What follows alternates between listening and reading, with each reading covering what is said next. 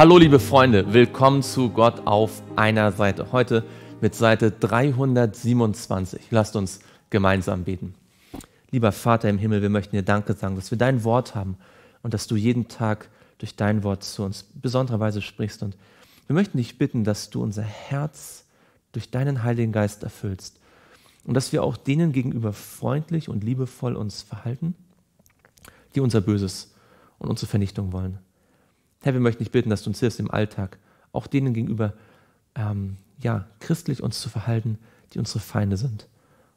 Und wir möchten dich bitten, dass du durch dein Wort uns dabei stärkst. Das bitten wir im Namen Jesu. Amen. Wir sind in 1 Samuel Kapitel 19. Saul trachtet dem David nach dem Leben, hat ihn versucht, wieder einmal mit dem Speer an die Wand zu spießen und das ist misslungen, weil Gott ihn bewahrt hat. Wir lesen weiter in Vers 11. Da sandte Saul Boten zu Davids Haus, um ihn zu bewachen und am Morgen zu töten. Michael aber, seine Frau, berichtete es David und sprach, wenn du diese Nacht nicht deine Seele rettest, so wirst du morgen umgebracht. Und Michael ließ David durchs Fenster hinunter und er ging davon, floh und entkam. Und Michael nahm den Teraphim, also einen, eine Art Hausgötzen, den es leider dort im Haus gab, und legte ihn auf das Bett und legte ein Geflecht von Ziegenhaaren an sein Kopfende und deckte ihn mit Kleidern zu. Da sandte Saul Boten, um David zu holen. Sie aber sprach, er ist krank. Eine Notlüge, die allerdings nicht wirklich gut funktioniert hat. Saul aber sandte die Boten, nach David zu sehen, und er sprach, bringt ihn samt dem Bett zu mir herauf, damit ich ihn töte. Als nun die Boten kamen, siehe, da lag der Teraphim im Bett und ein Geflecht von Ziegenhaaren an seinem Kopfende. Da sprach Saul zu Michael, warum hast du mich so betrogen und meinen Feind laufen lassen, dass er entkam? Michael sagte zu Saul, er sprach zu mir, lass mich gehen oder ich töte dich.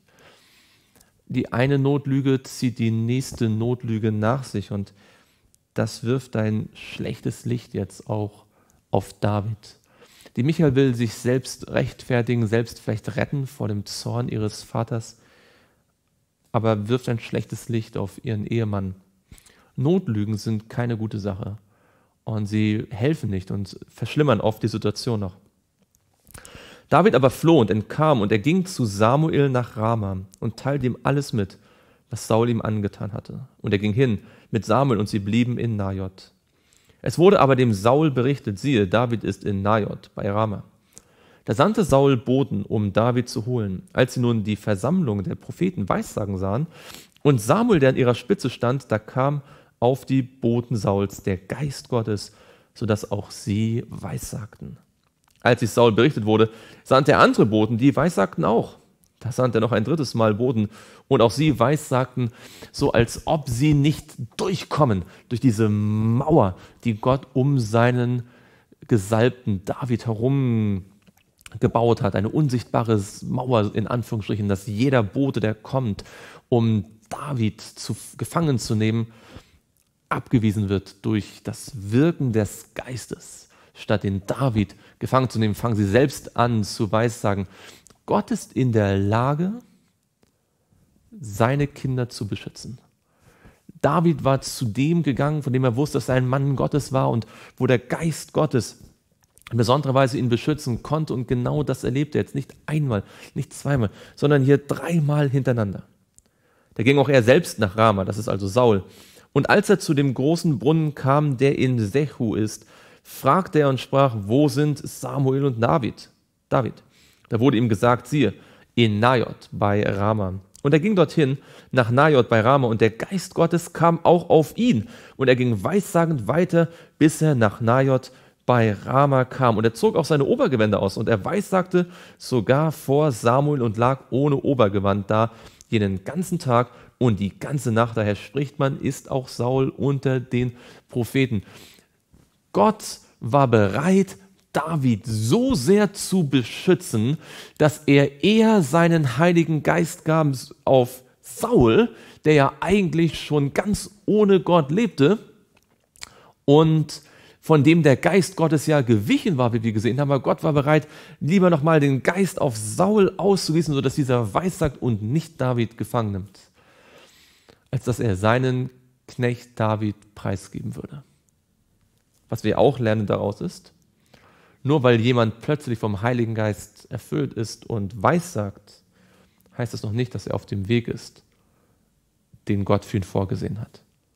Das gleiche galt ja schon auch für Biliam, der auch Weissagung gegeben hat, erfüllt vom Heiligen Geist, aber der eigentlich ja etwas anderes wollte.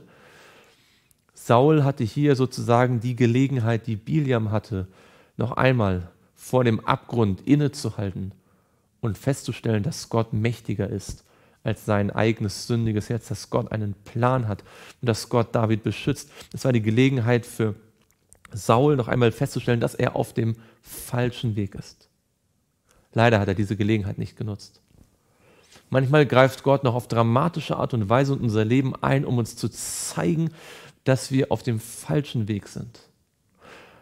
Wir sollten diese Gelegenheit nutzen.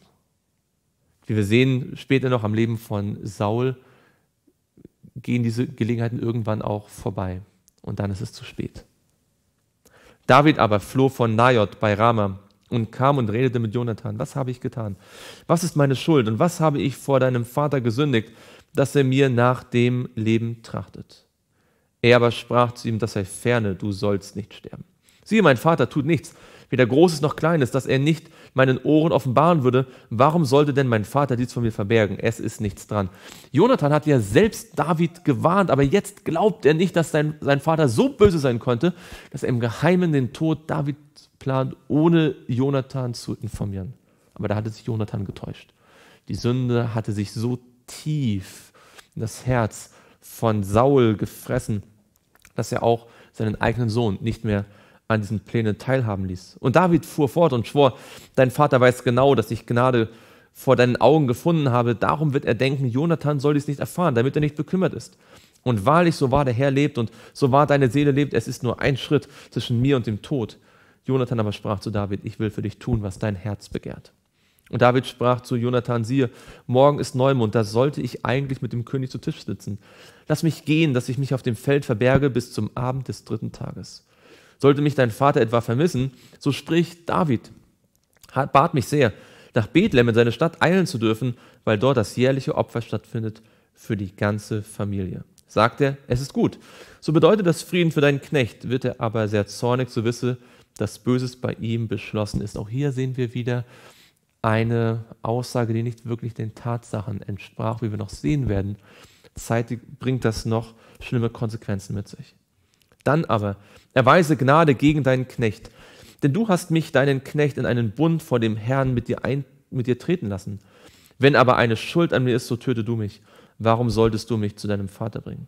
Und Jonathan sprach, das sei ferne von dir. Wenn ich sicher weiß, dass es bei meinem Vater beschlossene Sache ist, Böses über dich zu bringen, sollte ich es dann dir dann nicht berichten? Hier sehen wir echte Freundschaft. Echte Freundschaft, die das Leben und das Wohlergehen des anderen zur obersten Priorität macht. Lasst uns eine solche Freundschaft mit Gott haben und auch anderen Menschen über solche Freunde sein. Lasst uns gemeinsam beten. Lieber Vater im Himmel, bitte mach du uns zu echten Freunden, so wie Jonathan und David eine echte geistliche Freundschaft gehabt haben. Und vor allem bitten wir dich, dass wir deine Freunde sein dürfen. Du hast unser Wohlergehen als allerobersten Agendapunkt, als oberste Priorität. Und Herr, gib, dass das unsere oberste Priorität wird, dass du dich freuen kannst. Das bitten wir im Namen Jesu. Amen.